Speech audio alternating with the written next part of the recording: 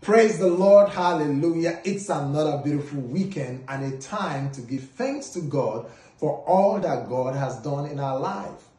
God has been faithful to you and I. He has kept us alive up to today. A Lord started this year with us, but today they are not here. He has shown his faithfulness in our life. He has made provision for us. He deserves to be given thanks and praise. Hallelujah. Father, we are grateful.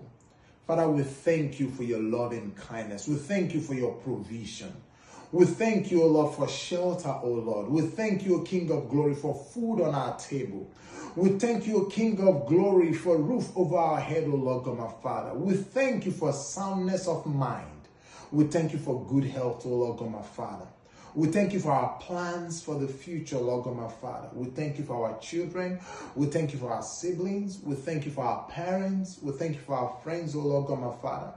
Thank you, King of glory, for we are still alive today. We just want to thank you one more time, oh Lord God. Thank you for this beautiful weekend. We thank you for next week will be a better week, oh Lord God, my Father. Father, be glorified and be magnified, Lord. Thank you for all that you've done for us. In Jesus' name. Amen. Please like and follow us for more.